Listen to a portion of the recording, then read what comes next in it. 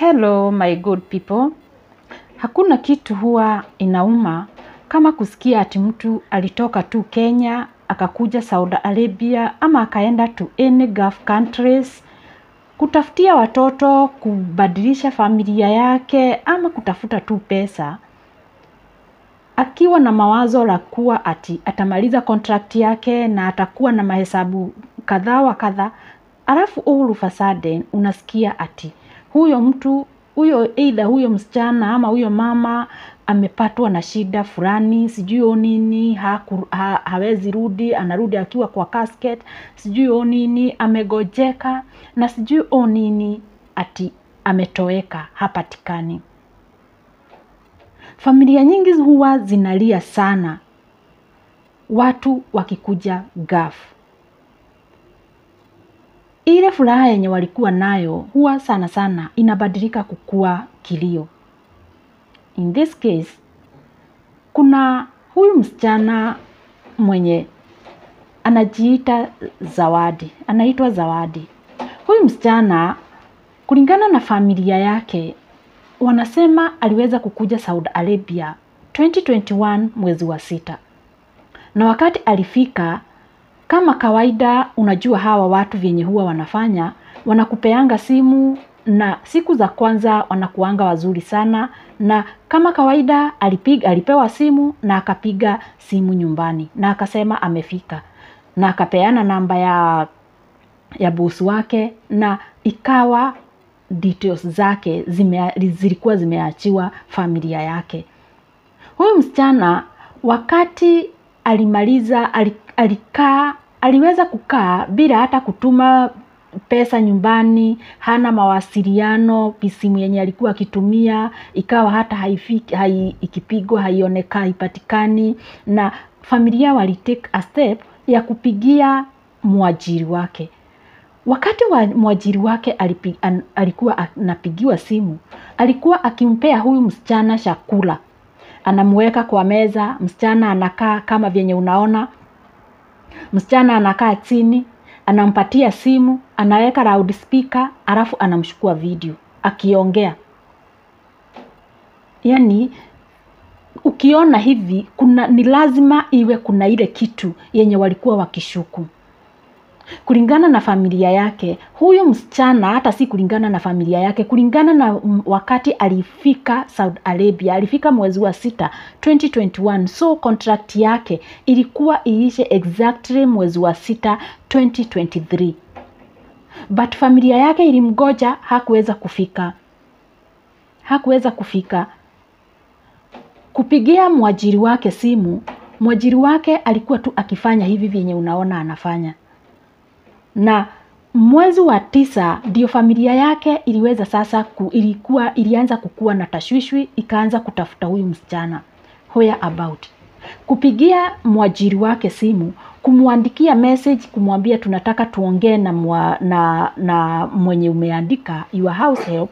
Huyu mwajiri wake wakati familia ilikuwa na tashwishwi, ikawa inataka kujua mambo na, na msichana wao, sababu huyu msichana alikuwa ame, ha, hapatikani, hajafika nyumbani, kontrakti yake imeshaisha. Waliweza kupigia kuandikia mwajiri wake, sasa ni Mwarabu, message wakimwambia tunataka tuongee na mwenye umeandika house help yako, na wakati aliona hivyo aliweza ku kosa kujibu na hakuongea. Na tangu wakati huo huyu msichana hapatikani, hawa watu wakipigiwa simu hawashughuliki. Agent mwenye aliweza agent yenye iliweza kumpeleka hawaongei, hawashiki simu. Ha, hii familia imehangaika, imeenda hata imeandikia embassy ya Kenya barua na hakuna vyenye huyu msichana anapatikana. Ame, wamejaribu kutrace huyu msichana wamekosekana. Tumeweza kushukua hii hatua ya kuleta hizi hizi photos zake na kuleta hii ujumbe kwa hizi social media zetu, at least maybe kuna mwenye ako pale anaweza saidia huyu msichana, at least aokolewe. Mahali yako apatikane, ikiwa ako kwa ile nyumba amefanyiwa kama akuwa slave ajulikane kwenye ako. This is very painful. Kabla sijawekea that audio ya all her details ningependa tafadhali niwape this advice na maybe we mwenye uko pale itakusaidia we mwenye unataka ukuje gaf itaweza kukusaidia ama hata wewe mwenye uko gaf na maybe unataka unatamani uende mahali kwingine hii hii advice it might help you. Hii ni wakati wenye tunafaa kuamsha akili.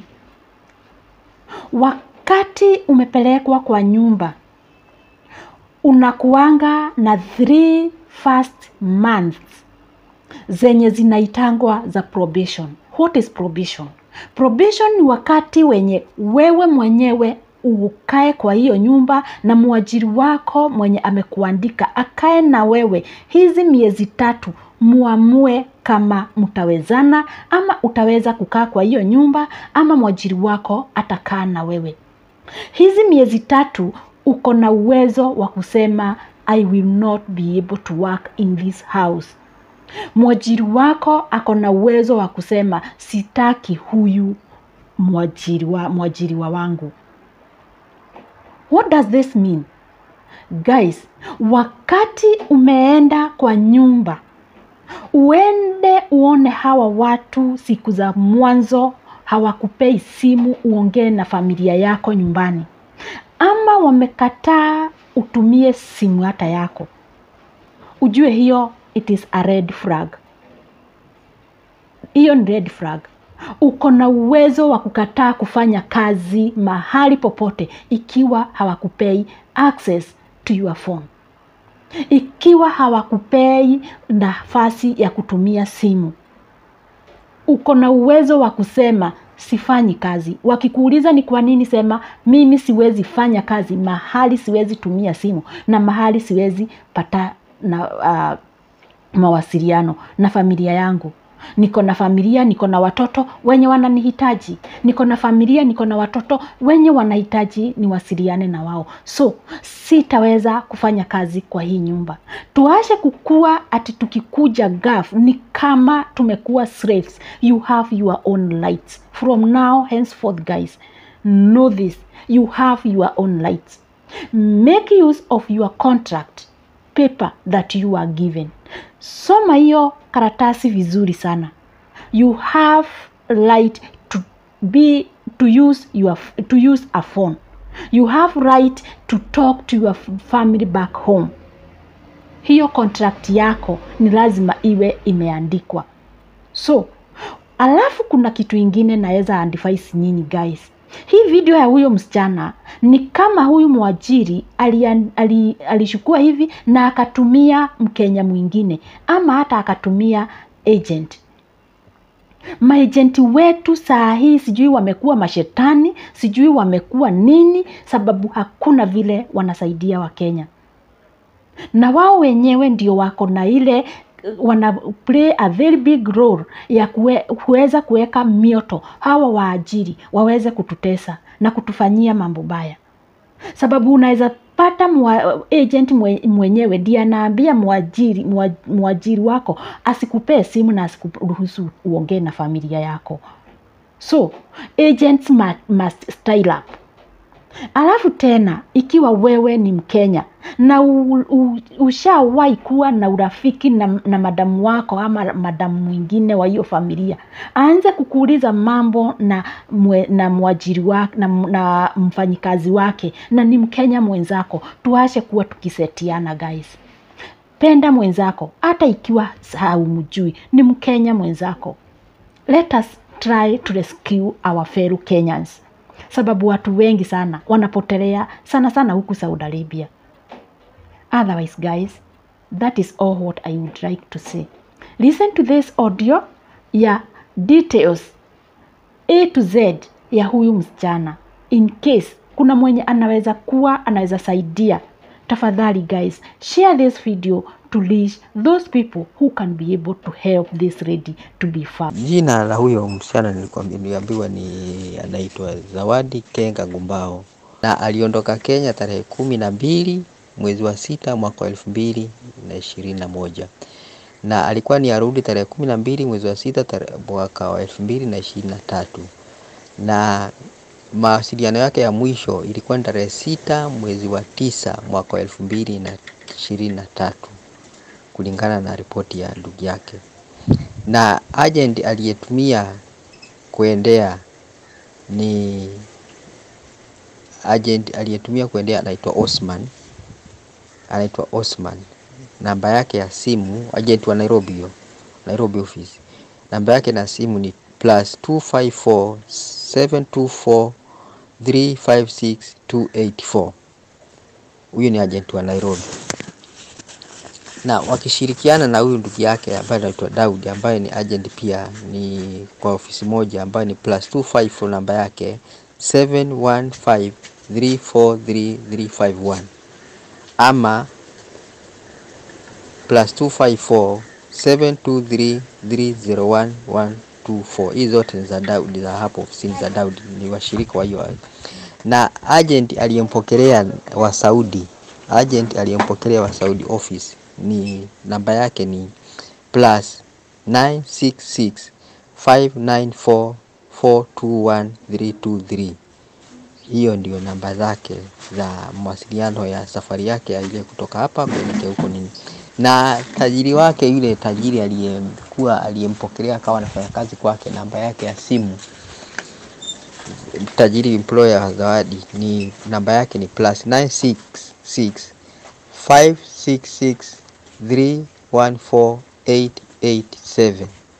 Huyo ni mahali alikuwa anafanya kazi mwanzo Zawadi. Huyu tajiri wake alikuwa mahali alipoenda alipotoka kwa ofisi, mahali alienda kuanza kazi kwake, na namba yake ya simu alipofika kule, ile ya mawasiliano aliyokuwa muda kidogo anapatikana nayo, namba yake ya simu ya laini ya kule ni plus 966 565 426 508. Hii ndio alikuwa aliwasiliana na mtu wake hapa nyumbani muda kidogo, na baada ya hapo akapotea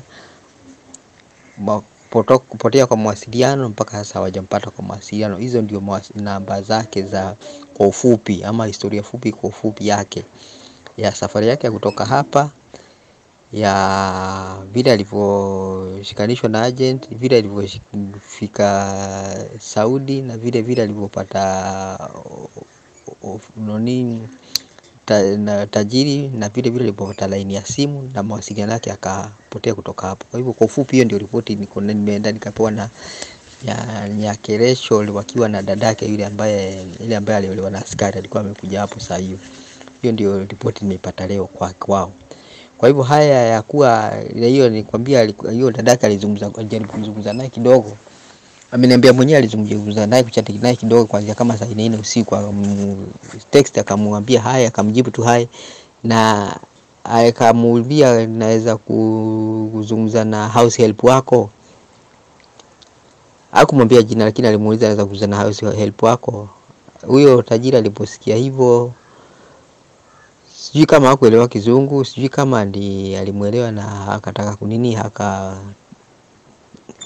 kuzima akapotea kwa mawasiliano hapo hapo, na mpaka sasa hajampata. Mjaribu amemjaribu, lakini hajampata. Kwa hivyo hiyo ndio ripoti niko nayo kwa saa hii, na hiyo ndio ripoti ambayo nimepewa na dadake wakiwa na mamake pale kwa pale kwa saa hii, nilipopelekea hili nilipopelekea ujumbe nilipopelekea hii audio ambazo ulinipatia nimpatie. Hiyo ndio hayo kwa saa hii.